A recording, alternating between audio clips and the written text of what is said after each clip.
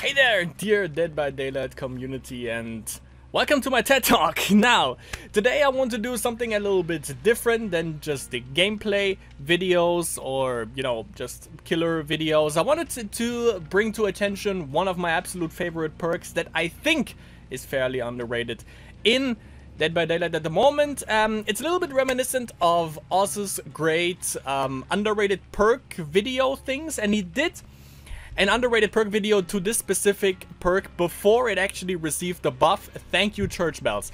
Um, and that perk is obviously, I have it right here in my hand, by the way, as you can see, by the way, right here. My absolute favorite perk, you can also see it in the video description, obviously, is Detective's Hunch. If you've never seen it, then there's something wrong with you. Look at, look, just, look at this fella. Look at this fella. He's cute. He's fucking, adorable. An adorable little fellow. So, Detective's Hunch. What does Detective's Hunch do? Pretty damn easy to explain. Unlocks potential in one's aura reading ability when a generator is completed. The aura of generators, chests, and totems within 64 meters are revealed to you for 10 seconds. If you are holding a map that can track objectives, generators, chests, and totems revealed by Detective's Hunch, are added to the map. Now before, when Otz did this video, that perk was garbage for one particular reason, that it, and that is that it was that it only triggered if you completed a generator. Now it's every time a generator is completed, and usually you all, I, I would say in every match, uh, there is at least two generators being done. So two instances in which this perk actually pops. Um, I thought actually it was 5 seconds, but apparently the game says it's 10 seconds, so that's even better now. Um, so yeah, basically what it does is, um, every time a generator is completed, as it says, you see in, in an aura of 64 meters around you, which is pretty much almost the entire map for like small maps like Game and, um, what's the other one? Larry's. You basically see this, uh, if you are in the center of the map, you basically see every spawn of every generator, of every totem, and of every chest around you. Usually what you want to use this perk for is to get rid of totems. Now, nowadays, I would say De Detective Hunch is a pretty good pickup for the meta, because in the current meta, usually, depends on where you reside, where your survival rank is, there is a good chance that the that the that the killer is running a hex totem, whether that be Devour Hope or whether that be for the end game NOED, because NOED, on certain killers, I would say it's mandatory, like if you face a Wraith, he kind of needs that. So you eliminate uh, it before it basically becomes a problem. Um, so what you want to do with this is obviously you want to if uh, if you know if you are in uh, Discord with your teammates and there is a gen about to pop, then what you want to do with Detective Hunch is you just basically run sorta in, into the center of the map so you can get a good glimpse around every totem.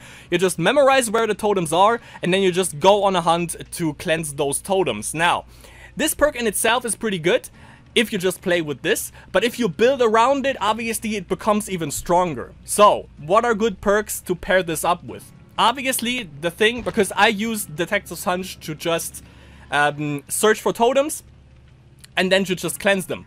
So, Obviously, the first thing that comes to mind is pair it up with Inner Strength. Because Inner Strength is really damn good with Detective's Hunch. What does Inner Strength do? It's a Nancy Wheeler perk, and uh, it does the following. Each time you complete a Totem Cleanse action, Inner Strength activates. If you are already affected by the broken status effect, Inner Strength does not activate, obviously. While Inner Strength, strength is active, hiding inside a locker for 8 seconds while injured, automatically heals you from injured to healthy.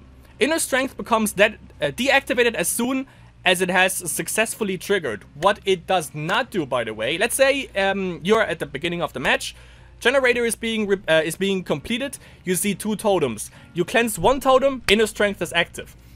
However, it is not like if you if it is active and then you cleanse another totem, and then you get hit, you go inside a locker, you heal, Inner Strength is not active because you cleansed another totem. It is only active for once. So that means if it is active and you cleanse a totem while inner strength is still active, it doesn't add, it, it, it doesn't stack. Or it doesn't gain tokens. You only get one. So you know you need a little bit, it's a little bit, but still you know just cleansing totems right off the bat, if you see them two or three right off the bat is obviously, you know, beneficial. Um, also, what Inner Strength helps you with is you just hide inside a locker for 8 seconds. That can happen, for instance, if the killer downs someone, you think he has uh, barbecue and chili, he picks them up right away, you think you're out, you're in, you would get detected by um, barbecue and chili. You just go inside a locker anyway, so you hide your aura from him. You go in there for 8 seconds. I think you need to be in that for like 5, five to 6 seconds for... Um, for uh, that is I think the, the the range for barbecue and chili or the duration for barbecue and chili in which you can track your aura five to six seconds. So you just hide in there for like three additional seconds and you know there's no time being wasted. The guy that would have uh, healed you can instead go to another generator or prepare to unhook and you are just you know healed up which is pretty damn good. Next one that you can, or another perk that you can pair this up with if you don't want to go for totems would be uh, I think it's a green perk. Yup, Plunderer's Instinct. Because um, this obviously tracks, uh, or Detective Hunch also um, tracks uh, chests. So you don't necessarily need it for Plunderer's Instinct, because Plunderer's Instinct does basically the same thing. However, Detective Hunch has a range of 64 meters. This one, quote-unquote, only on level 3 Plunderers, has a range of only 32. Unlocks potential in one's aura reading ability. The auras of unopened chests and items in the environment are revealed to you. When standing within a 32 meter range, grants a considerably better chance at finding an item of higher rarity from chests. It's a little bit of a stretch because, you know, you, you see the aura when you are in the general vicinity anyways, but you might want to pair it up with Plunderer's Instinct just, you know, for the lulz basically. Another perk you can pair Detective Hunch up with would be that should be a purple one. Uh, yeah, that was open-handed, which is a, which is a ace. By the way, um, Plunderer's Instinct. I forgot to mention this is a rare perk. Every every survivor has this from the get-go, and Detective Hunch, totally forgot to mention that, is a detective Tapp perk. And open-handed is a very rare Ace Visconti perk. What open-handed does, which is probably also um, a perk you've never heard before, is strengthens the potential of you and your team's aura reading abilities, increases aura reading ranges by 8 meters, which basically buffs Detective's Hunch from 64 meters to 72 meters of um, aura reading of generators, of chests, and obviously of totems. Um, another thing, by the way, that I forgot to mention is that if you see a totem with Detective's Hunch, it doesn't tell you if it is a Hex totem or if it, if it is a Dull totem. You just see the totem, but you don't know if, it, if it's a Hex totem or not. Uh, but yeah, obviously, um, open-handed, you can pair that up also. If you run Detective's Hunch with Bond, that also helps, because it also then in increases the range of the aura reading from Bond, right off the bat. So you get one perk, open-handed, which buffs Detective's Hunch and Bond pretty good. Another perk you can pair up uh, with would be Small Game, which is another rare perk that every survivor has from the get-go. So what does Small Game do? You have the undeniable capability to sense danger. Get an auditory warning when looking in the direction of killer traps and totems in a 45 degree cone within a range of 12 meters. Small Game has a cooldown of 10 seconds each time it activates. Only works on traps that are set by killers. Uh, so this one basically pops when you see Hag traps, when you see, or when you look at um, trapper traps. That also works, by the way, if it is like around the corner. So it's still you still get the auditory warning for that. But also when you see a totem, doesn't uh, uh, and it always pops. It always makes the same noise whether you look at a dull totem or whether you look at a hex totem. Why you would pair up small game with Detective's Hunch is obviously you know you get the aura reading for basically everything for 10 seconds. So it also it also works on a chase, by the way, which is pretty damn cool. Um, you get that thing for 10 seconds, but if you if you are if you are like me and you have the memory of a goldfish, you might really forget really quickly where those totems were that you just saw for 10 seconds. And small game can basically help you out because you know you know the general vicinity in which that totem was, but um, and then you go into that vicinity but you don't find it, and then you know small game can help you out, but that's a little bit of a stretch. You don't really need it. You only basically need Detective Hunch because, you know, if you see it for 10 seconds and you cleanse one totem and then you look in the in the direction where the other one is, you should know where they are. However, if you happen to have uh, difficulties uh, by remembering where those totems were because you only see them for 10 seconds, then there are items that can actually help you out. So as for items, there is one item that can greatly help you out if you can't remember uh, where the totems are that you just saw, and that would be the rainbow map. What does the rainbow map, rainbow map, Jesus, do without any kind of add-ons? The following. Holding and channeling the map unlocks great potential in one's aura breathing ability which slowly burns the map. Burns up the map. Object with auras Objects with auras, which you have already encountered, are revealed to you for as long as the map has charges left, 20 seconds of use. Start with 3 objects automatically tracked. Unlocks the ability to track objectives with an 8 meter range. Unlocks the track unlocks the ability to track black locks with within a, an 8 meter range. Unlocks the, the ability to track the killer's belongings within an 8 meter ra range, which is basically um, which are basically hooks, and unlocks the ability to track exit gates within an 8 meter range, which, by the way, you can also buff right away with open-handed, because open-handed also applies to that uh, not only applies to perks that you and your other survivor friends always also have, but also to items and thus also to the aura reading of the map. Uh, of the rainbow map, that is. So what you want to pair this up with for the rainbow map, you have two add-ons. Uh, rainbow map, by the way, is an ultra rare item, so it doesn't pop up as often in the blood web, however. But there are two add-ons that you should consider putting onto the map. First one would be the unusual stamp. Moderately increases the range of the map tracking ability stacks. And the odd stamp, unusual stamp obviously would be the would, it would be an uncommon map add-on and the green and the odd stamp would be a rare map add-on, a green one, which means this one shows up more rare or less often, less frequently on the blood web as the unusual stamp, because this one considerably increases the range of the map tracking ability. So these two basically buff up the um, the aura reading of the map, and uh, so this one increases it. This one, like, like like this one increases it just a little bit. This one increases it a bit further, and this one also buffs it. So you know, open-handed with these two with these two add-ons and with the map is pretty good. So what you want to do, by the way, uh, Detective's Hunch, you get the aura reading.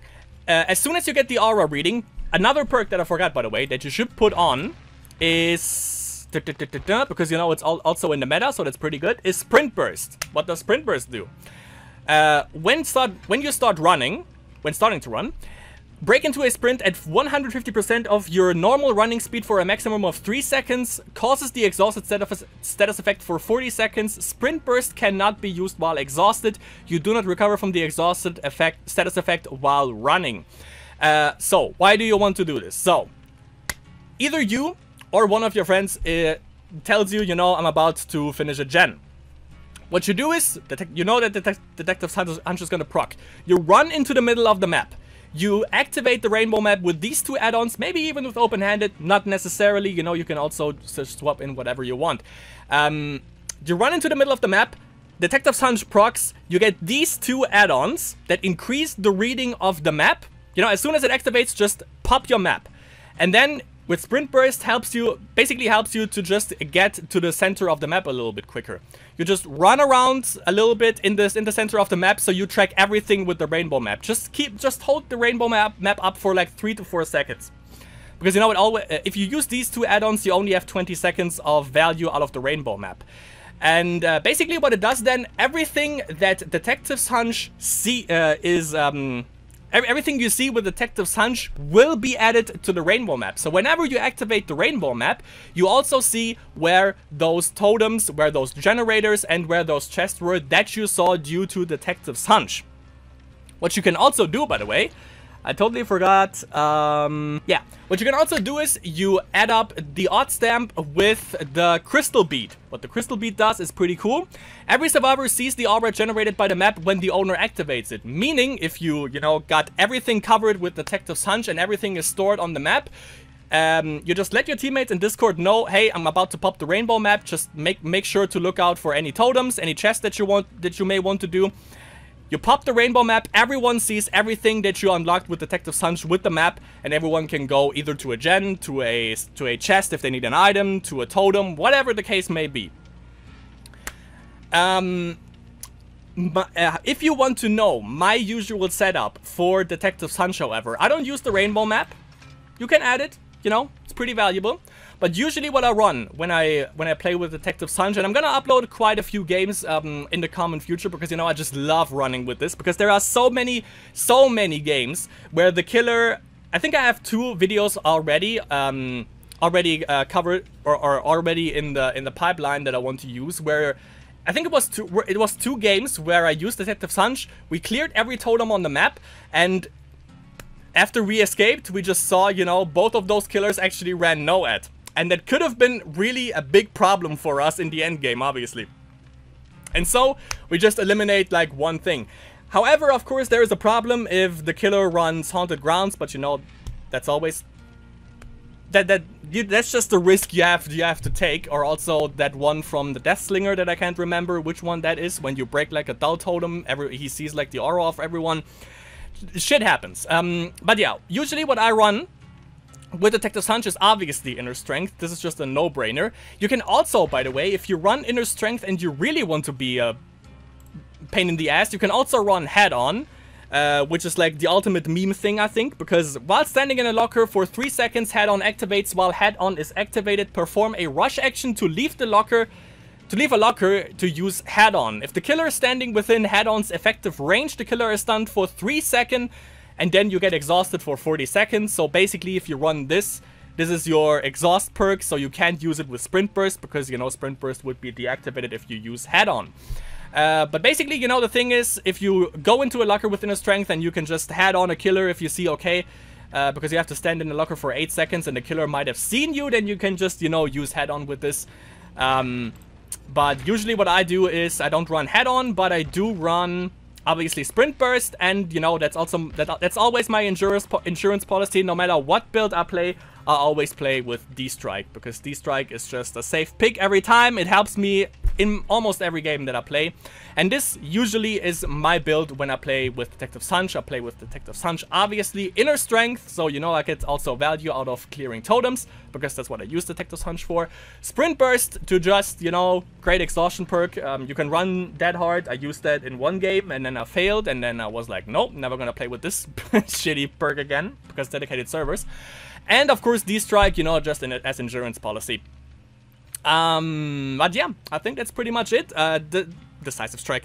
Detective Hunch, definitely in my opinion an underrated perk. Um, as I said, you can just use Detective Hunch and, you know, go for like, um, it works great on its own. You can use your own perk build that you usually run with like Adrenaline or if you want to go for a more ninja appearance, uh, you can also go with your sneak things with, um,